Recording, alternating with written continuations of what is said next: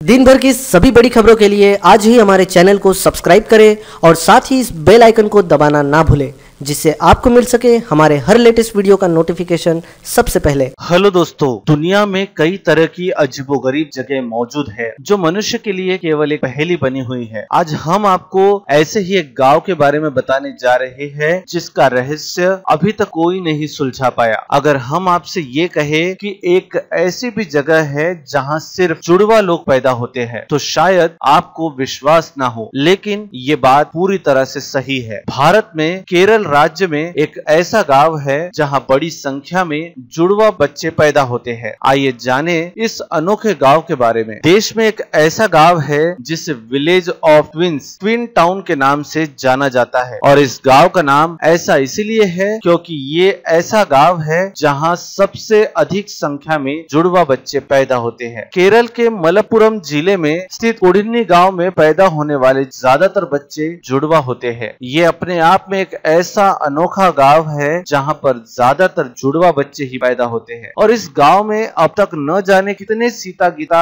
राम श्याम जन्म ले चुके हैं। पूरी दुनिया में एक हज़ार बच्चों पर चार जुड़वा बच्चे पैदा होते हैं। लेकिन इस रहस्यमय गाँव में एक हज़ार बच्चों पर करीब पैतालीस बच्चे जुड़वा पैदा होते हैं। यहाँ पर वर्तमान में करीब 350 जुड़वा जोड़े रहते हैं, जिनमें नवजात शिशु से लेकर पैंसठ साल के बुज़ुर्ग तक शामिल है, जहाँ विश्व स्तर पर हर हज़ार बच्चों पर चार जुड़वा पैदा होते हैं। एशिया में तो ये औसत चार से भी कम है, लेकिन कोढ़िन्नी में हर हज़ार बच्चों पर 45 बच्चे जुड़वा पैदा होते हैं। हालाँकि ये औसत पूरे विश्व में दूसरे नंबर पर है, लेकिन एशिया में पहले नंबर पर आता है। विश्व में पहला नंबर नाइजीरिया के इग्बो ओरा को प्राप्त हुआ है, जहाँ ये औसत 145 है। कोडिन्नी गाँव एक मुस्लिम बहुल गाँव है, जिसकी आबादी करीब 2000 से भी ज़्यादा ज़्यादा है। और इस गाँव में घर, स्कूल, बाज़ार, हर जगह हम शक्ल नज़र आएँगे। वैज्ञानिक भी एक ही गाँव में इतने जुड़वा बच्चे पैदा होने की वजह इन लोगों की जेनेटिक को मानते हैं। और इस वजह को विस्तार से जानने के लिए वैज्ञानिकों ने इन लोगों के रक्त, लार आदि के सैंपल भी की भी जाँच कर चुके हैं। लेकिन इस गाँव का रहस्य आज भी बरकरार है। इसका सबसे बड़ा कारण है मेडिकल जाँच में गंभीरता से छानबीन पर ध्यान न देना। मसलन ये पता नहीं किया गया कि क्या